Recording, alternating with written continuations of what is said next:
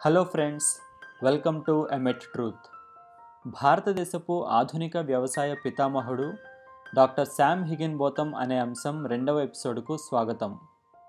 గత ఎపిసోడ్ని మీరు చూడనట్లయితే ఆ వీడియో లింక్ డిస్క్రిప్షన్ బాక్స్లో ఉంది తప్పకుండా చూడండి. సరే నేటి ఎపిసోడ్లోకి వస్తే బహుశా మనలో చాలామంది శామ్ హిగెన్ బోతం అనే పేరు ఎప్పుడూ విని ఉండకపోవచ్చు. ఇంగ్లాండ్ దేశంలో జన్మించిన శామ్ హిగిన్ బోతం బాల్యంలో చాలా పేదరికం అనుభవించారు. పాలు సరఫరా చేయడం క్యాబ్ డ్రైవర్గా పనిచేయడం లాంటి చిన్న చిన్న పనులు చేస్తూ సంపాదించిన కొద్ది డబ్బుతోనే మంచి విద్యను అభ్యసించి ఉన్నత స్థాయికి చేరుకున్నారు. అమెరికాలో థియాలజీ విద్యను అభ్యసించి ప్రెస్బిటేరియన్ మిషనరీగా భారతదేశం వచ్చారు. పంతొమ్మిది వందల మూడులో భారతదేశం వచ్చిన శామ్ హిగిన్ బోతం పంతొమ్మిది వందల తొమ్మిది వరకు అలహాబాద్ క్రైస్తవ కళాశాలలో ఎకనామిక్స్ ప్రొఫెసర్గా పనిచేశారు. ఆ సమయంలో భారతీయ రైతుల జీవితాలను అధ్యయనం చేయడం కోసం చుట్టుప్రక్కల గ్రామాలను సందర్శించేవారు. తన పరిశోధనలో గమనించిన మొదటి విషయం భారతీయ రైతులు వాడుతున్న పురాతన వ్యవసాయ పనిముట్లు. ఉదాహరణకు ఆ కాలంలో ఉపయోగిస్తున్న నాగలి చెక్కతో చేసింది. చివరిలో కొనకి కొద్దిగా ఇనుము ఉండేది. ఇటువంటి నాగలితో పొలం దున్నినప్పుడు ఎక్కువ లోతు దిగేది కాదు. ఒక ఎకరం పొలం దున్నడానికి రైతు కనీసం మూడుసార్లు తిరగాల్సి వచ్చేది. అంటే సుమారు యాభై మైళ్ళ దూరం నడవాల్సి వచ్చేది. కొద్దిగా అభివృద్ధి చేసిన నాగలితో ఆ దూరం పదహారు మైళ్ళకు తగ్గించవచ్చని శామ్ గారు అభిప్రాయపడ్డారు. కొడవలిని ఉపయోగించి గడ్డి కోయడం చాలా పాత పద్ధతి అని దాని వలన గడ్డి ధర ఎక్కువగా ఉంటుందని ఆయన అభిప్రాయపడ్డారు. వ్యవసాయ రంగంలో మన వాళ్ళు అనుసరిస్తున్న ఇలాంటి అనేక పాత పద్ధతులను అధ్యయనం చేసిన శామ్ గారు రైతుల పేదరికానికి ఇది ఒక కారణమని ఆధునిక వ్యవసాయ పద్ధతులను భారతదేశానికి పరిచయం చేయవలసిన అవసరం చాలా ఉందని గుర్తించి ఈ విషయాన్ని విస్తృతంగా ప్రచారం చేశారు. తన పరిశోధనలో శామ్ హిగిన్బోతం గారు గమనించిన రెండవ విషయం ఏమిటంటే నిరక్షరాస్యత అజ్ఞానం మూఢనమ్మకాలు అణచివేతకు గురి కావడం అనారోగ్యం శిశు మరణాలు అపరిశుభ్రత కలరా ప్లేగు మలేరియా లాంటి నివారించదగిన వ్యాధులు తరచూ ప్రబలడం ఇవన్నీ ఒకదానితో ఒకటి విడదీయరాని సంబంధం కలిగినవి. భారతీయుల పేదరికానికి ఇవి ముఖ్య కారణాలు. ఆ కాలంలో వంద నుండి మూడు వందల జనాభా కలిగిన చాలా గ్రామాల్లో చదువుకున్న వ్యక్తి ఒక్కడు కూడా కనిపించేవాడు కాదు. సుమారు ఐదు లక్షల గ్రామాలకి కనీసం ప్రాథమిక విద్యా సదుపాయం కూడా లేదు. అప్పటి లెక్కల ప్రకారం నాలుగైదు వాక్యాలు రాసి చదవగలిగిన వారు కేవలం ఐదు పాయింట్ ఆరు శాతం మంది మాత్రమే. స్త్రీలు పురుషులలో అక్షరాస్యతను విడివిడిగా చూసినట్లయితే పురుషులలో పది శాతం స్త్రీలలో కేవలం ఒక శాతం మంది మాత్రమే అక్షరాస్యులు. నిరక్షరాస్యత ఎక్కువగా ఉన్న కారణంగా ప్రజలు సులభంగా మోసపోయేవారు. ఇంకా దోపిడీకి అణిచివేతకు గురయ్యేవారు. పుకార్లను సులభంగా నమ్మేవారు. స్త్రీలలో నిరక్షరాస్యత వలన కలిగే దుష్పరిణామాలు అనేకం. బాల్యంలో పిల్లలు అనేక సంవత్సరాలు తల్లి సంరక్షణలో గడుపుతుంటారు. తన సొంత పేరు రాయగలిగిన తల్లులు వందలో కేవలం ఒక్కరు మాత్రమే ఉన్న సమాజంలో పెరిగే పిల్లల ఆలోచనలు ఎలా ఉంటాయో ఆలోచించండి. నిరక్షరాస్యురాలైన తల్లి మనస్సు మూఢనమ్మకాలు అపోహలు అనుమానాలు భయంతో నిండి ఉంటుంది. వీటి ప్రభావం పిల్లల మీద కూడా పడుతుంది. తల్లులలో నిరక్షరాస్యత జాతి అభివృద్ధికి అభ్యున్నతికి గొడ్డలి పెట్టు లాంటిది. ఈ విషయంలో పాశ్చాత్య దేశాలలో ఉన్న క్రైస్తవ మహిళలు భారతీయ సోదరీమణులకు సహాయం చేయవలసిన అవసరం ఎంతైనా ఉంది అని శామ్ హిగిన్ బోతం గారు పిలుపునిచ్చారు. శామ్ హిగిన్ బోతం గారు మన దేశంలో పరిశీలించిన విషయాలలో కుల వ్యవస్థ ఒకటి. భారతదేశ పేదరికానికి ముఖ్య కారణం కుల వ్యవస్థ. ఈ విషయాన్ని తన స్వీయానుభవం నుండి సోదాహరణంగా ఇలా వివరించారు. నేను ఒక స్వీపర్ని పనిలో నియమించుకున్నాను. అతనికి రోజుకి రెండు గంటల కంటే తక్కువ పని ఉంటుంది. అతని జీతం నెలకు రెండు డాలర్లు.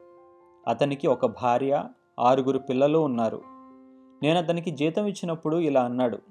అయ్యా ఇంత తక్కువ జీతంతో ఎనిమిది మందిని పోషించడం చాలా కష్టంగా ఉంది అని. అప్పుడు నేను అన్నాను నువ్వు ఎక్కువ పని చేసినట్లయితే నీకు ఎక్కువ జీతం ఇవ్వగలను. తోట పనిలో సహాయం కోసం ఒకరు కావాలి అని తోటమాలి అడిగాడు. నువ్వు వెళ్ళి తోటమాలికి సహాయం చేసినట్లయితే నేను నీకు ఆనందంగా డబ్బు ఇవ్వగలను అని చెప్పాను. అందుకు ఆ వ్యక్తి ఒప్పుకొని తోట పని చేయడం మొదలుపెట్టాడు. అయితే కొద్దిసేపటికే తోటమాలి నా వద్దకు వచ్చి తన డబ్బులు తనకిచ్చేస్తే తాను వెళ్ళిపోతానని చెప్పాడు. ఏంటి సంగతి? నీకు ఈ పని నచ్చలేదా? నేను నీతో సరిగ్గా వ్యవహరించలేదా అని అడిగాను. అందుకు ఆ తోటమాలి మీరు నాతో సరిగ్గానే వ్యవహరించారు. పని కూడా బాగానే ఉంది. కానీ నేను వెళ్ళాలి అన్నాడు. ఎందుకు? కారణం ఏమిటి అని నేను అడిగాను. తోటలో పని చేయడానికి మీరు ఆ స్వీపర్ని పంపించారు. అతను ఉంటే నేను వెళ్ళిపోతాను అని సమాధానమిచ్చాడు తోటమాలి. కానీ ఒక సహాయకుడు కావాలి అని నువ్వే కదా అడిగావు? అందుకే నేను పంపాను. నీకు ఒక భార్య నలుగురు పిల్లలు. నెలకు వచ్చే రెండున్నర డాలర్లతో కుటుంబాన్ని పోషించడం కష్టంగా ఉంది అంటావు. మరి నెలకు రెండు డాలర్లు మాత్రమే సంపాదించే అతను తన భార్య ఆరుగురు పిల్లలను పోషించడం ఇంకా కష్టం కదా? అందుకే అతను తోట పని చేసినట్లయితే నేను తనకి ఎక్కువ డబ్బులు ఇవ్వగలను. దానితో అతను తన కుటుంబానికి ఎక్కువ ఆహారం సమకూర్చగలుగుతాడని భావించి నేను అతనిని తోట పనికి పంపాను అని చెప్పాను. అందుకు ఆ తోటమాలి ఇలా అన్నాడు. మీరు చెప్పింది నిజమే అయ్యా.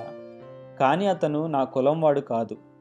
కాబట్టి నేను అతనితో కలిసి పని చేయలేను. అతను ఉంటే గనుక నేను వెళ్ళిపోతాను. నేను అతనితో కలిసి పని చేసినట్లయితే నా తోటి కులస్తులంతా నన్ను వెలివేస్తారు. ఒక స్వీపర్ కోసం నేను అవమానాలు భరించలేను. కాబట్టి నేను వెళ్ళిపోతాను.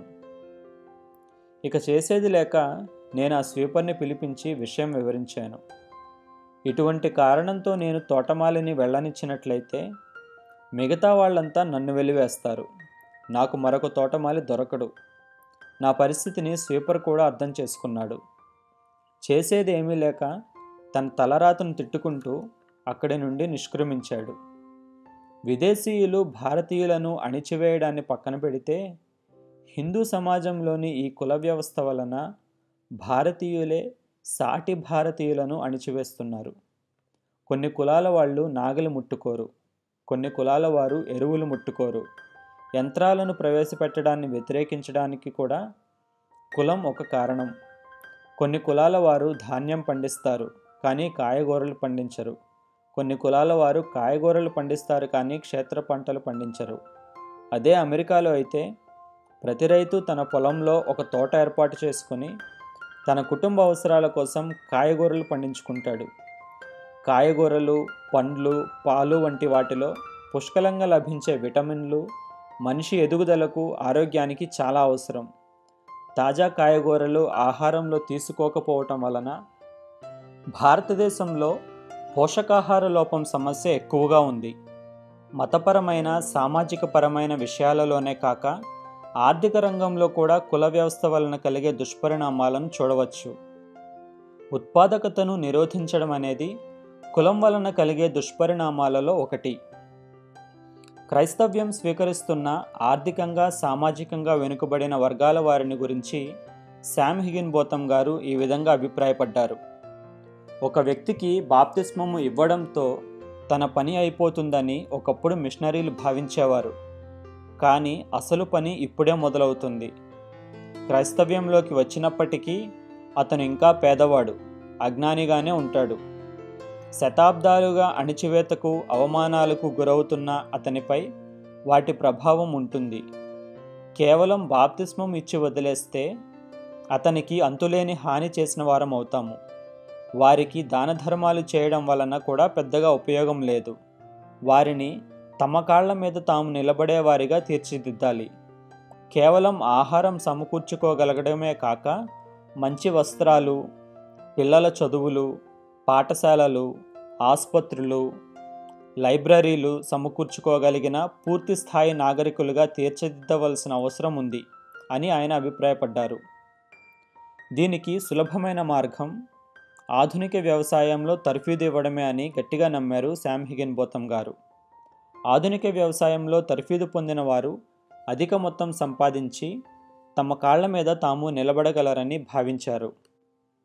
అప్పటికే కొన్ని మిషనరీ సంస్థలు కొంతమందికి వృత్తి విద్యలలో తర్ఫీదు ఇవ్వడం శామ్ హిగిన్ గారు గమనించారు.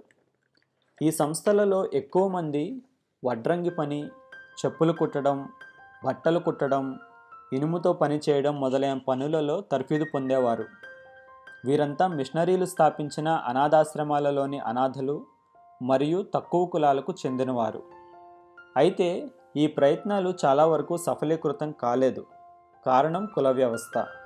ఒక మిషనరీ గనుక ఒక వ్యక్తికి ఈ వృత్తులలో తర్ఫీదునిచ్చినట్లయితే ఆ వ్యక్తిని ఆ మిషనరీయే పనిలో నియమించుకోవాల్సిన పరిస్థితి. అలా కాని పక్షంలో ఒకవేళ ఆ వ్యక్తి ఓపెన్ మార్కెట్లోకి వచ్చి ఆ వృత్తిలో కొనసాగదలిస్తే వెంటనే అతనికి ఆ కుల వృత్తితో జీవనం సాగించే కులస్తులకి మధ్య గొడవ జరిగేది. అతను ఈ వృత్తిని చేయడానికి ఆ కులస్తులు అంగీకరించేవారు కాదు. అంతేకాకుండా ఎవరైనా అతనికి పనిస్తే ఆ యజమానిని కూడా వెలివేసేవారు. దానితో ఆ తక్కువ కులానికి చెందిన వ్యక్తి చివరకు సాధారణ కూలీగా మారవలసిన పరిస్థితి వచ్చేది. అయితే వ్యవసాయ రంగంలో మాత్రం కుల పట్టింపులు ఆంక్షలు పెద్దగా ఉండేవి కాదు. ఈ విషయం గమనించిన శామ్ హిగిన్ బోతం గారు ఇలా తక్కువ కులాల నుండి క్రైస్తవ్యంలోకి వస్తున్న వారికి ఆధునిక వ్యవసాయంలో మిషనరీలు తర్ఫీదునివ్వవలసిన అవసరం ఉంది అని సూచించారు. చూశారు కదా ఫ్రెండ్స్ వంద సంవత్సరాల క్రితం మన దేశంలో ఎలాంటి పరిస్థితులు ఉండేవో కుల వ్యవస్థ కారణంగా ఒక పక్క భారతీయులే సాటి భారతీయులను తీవ్రంగా అణిచివేస్తూ ఉంటే మరోపక్క క్రైస్తవ మిషనరీలు అలా అణిచివేతకు గురవుతున్న వారిని చేరదీసి వారికి విద్యాబుద్ధులు నేర్పించి వృత్తి విద్యలలో తర్ఫీదునిచ్చి వారు ఆర్థికంగా ఎదగటానికి ఎంతో కృషి చేశారు. అంతేకాకుండా ఆ కాలంలో తీవ్రంగా ఉన్న నిరక్షరాస్యత అజ్ఞానం మూఢనమ్మకాల కారణంగా ప్రజలు తేలికగా మోసపోయేవారు అణిచివేతకు గురయ్యేవారు అలాగే తరచూ జబ్బు పడేవారు. వీటన్నిటి కారణంగా ఎక్కువ శాతం మంది ప్రజలు తీవ్ర పేదరికంలో మగ్గుతూ ఉండేవారు. మరిన్ని వివరాలకై డాక్టర్ శామ్ హిగిన్ బోతం గారు స్వయంగా రచించిన the gospel and the plough the old gospel and modern farming in ancient India అనే పుస్తకాన్ని చదవండి. శామ్ హిగిన్ బోతం గారు మన దేశానికి చేసిన సేవలను గురించిన మరిన్ని విశేషాలను మన నెక్స్ట్ ఎపిసోడ్లో చూద్దాం. ఈ వీడియో మీకు నచ్చినట్లయితే లైక్ చేయండి ఇతరులకు షేర్ చేయండి. మరిన్ని వీడియోల కోసం మా ఛానల్ని సబ్స్క్రైబ్ చేయండి. ఈ వీడియో వీక్షించినందుకు ధన్యవాదాలు.